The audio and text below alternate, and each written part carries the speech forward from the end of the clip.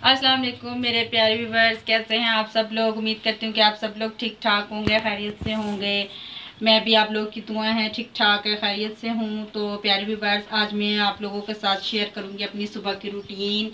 तो मैं आपको बताती हूँ कि अब टाइम हुआ है साढ़े आठ बजे का। तो सुबह मैं उठी हूँ, उठ के मैंने बच्चों के लिए नाश्ता बनाया है। नाश्ते में मैंने क्या बनाया है? डेली मैं नाश्ते में पराठे बनाती हूँ। चूँकि आपको पता है मौसम चेंज हो रहा है तो मौसम की चेंजिंग के हवाले के हिसाब से तो बच्चों की तबीयत कुछ ऐसी थी तो बच्चों ने आज पराठे नहीं खाए तो इसलिए मैंने भी पराठे नहीं बनाए। तो मैंने बच्चों को चाय रस खिलाया है। तो अब बच्चे जा चुके हैं स्कूल तो मैं अब करने लगी हूँ अपने घर की सफ़ाई। तो मैंने सोचा क्यों ना घर साथ साथ घर के सफ़ाई का भी काम हो जाए और साथ साथ अपने व्यर्स के साथ जो है गपशप भी हो जाए। तो जैसा आप देख रहे हैं, जो कमरे का, बच्चों के कमरे का हुलिया है, वो बहुत ज़्यादा ख़राब हुआ है इसको अब सेट करना जो मेरा काम है, हम शुरू करते हैं अपने कमरे की सफ़ाई।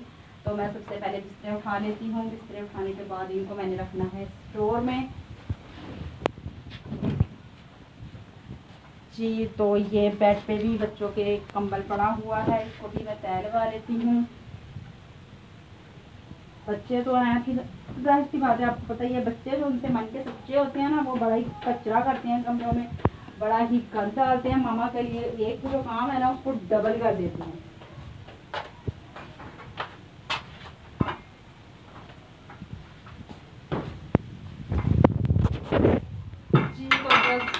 तो मैंने उठा लिए हैं। अब मैं लगाने लगी हूँ झाड़ू। अब मैं लेकर आती हूँ झाड़ू बाहर से।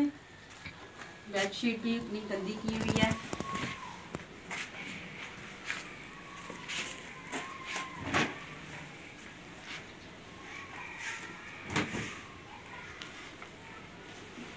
जो भी बिस्किट वगैरह खाना होता है, बच्चों ने रात के टाइम बिस्तरे पे ही खाना होता है।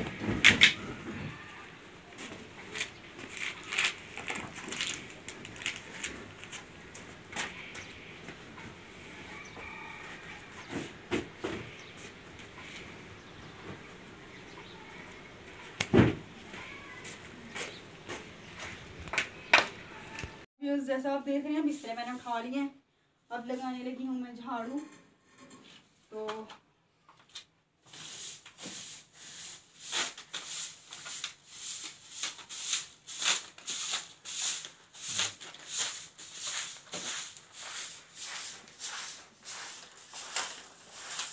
कारपेट के ऊपर से तो झाड़ू बड़ी मुश्किल से निकलती है।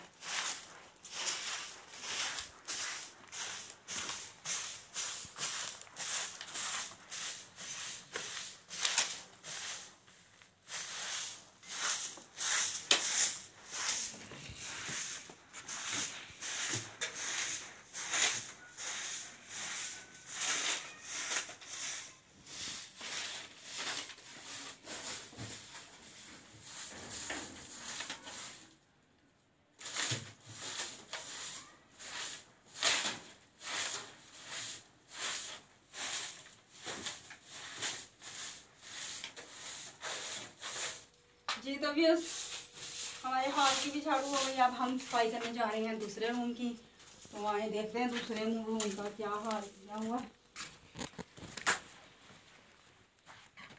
दूसरे रूम में भी बिस्तरे पड़े हुए हैं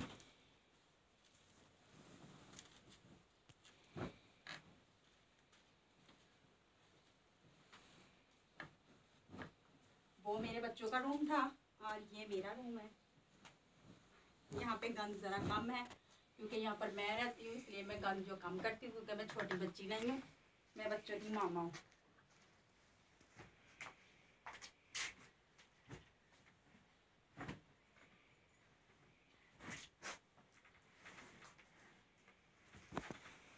चले तो अब लगाती हूँ इधर की झाड़ू। इधर भी कारपेट बिछा हुआ है तो उसके ऊपर से भी झाड़ू बड़ी मुश्किल से लगती है।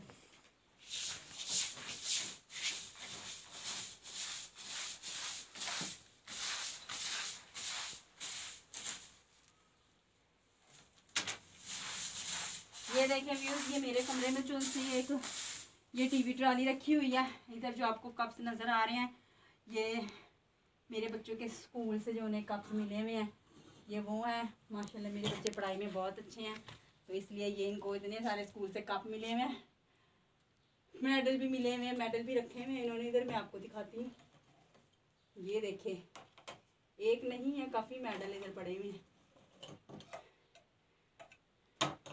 ये सारे इनको रिज़ल्ट में ही मिले हुए कोई कंपटीशन में नहीं मिले हुए। चले, मेरी झाड़ू भी हो गई है इस रूम की भी।